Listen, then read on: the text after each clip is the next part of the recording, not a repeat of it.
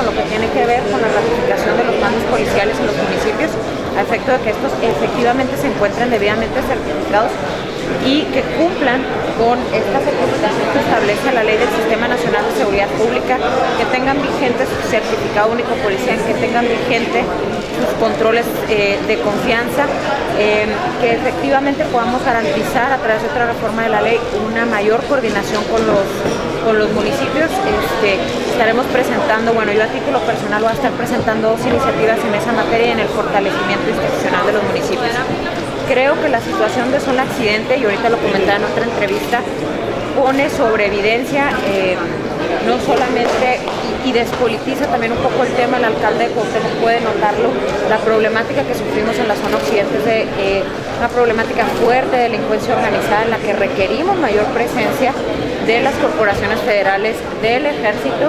pero que actúen en pleno cumplimiento de los derechos humanos. Entonces, en ese sentido nos hace falta fortalecimiento, como ya lo hemos dicho varias veces aquí desde este pleno, de las fuerzas federales y también requerimos pues que los mandos sean confiables y que estén, que cumplan con la ley, vaya, ¿no? Entonces vamos a realizar algunas reformas, a presentar, perdón, una, una serie de reformas a la Constitución Política del Estado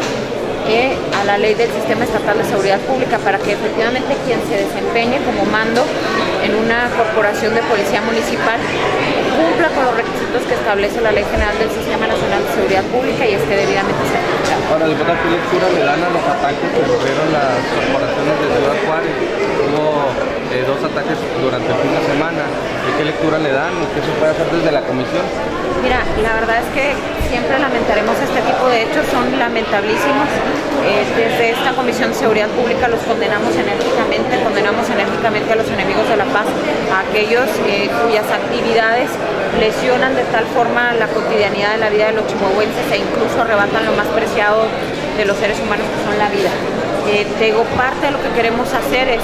meter una serie de iniciativas para garantizar que los medios estén debidamente certificados, para garantizar que quienes están, no hay mejor protección, créeme, para los elementos de una corporación municipal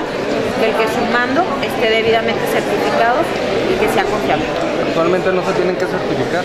Actualmente la Ley General del Sistema Nacional de Seguridad Pública para todos y la ley estatal en concordancia para todo aquel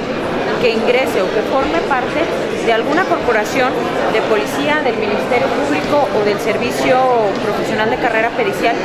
tiene que contar con controles de confianza, tiene que contar con un certificado único policial, pero en el caso de los mandos, el,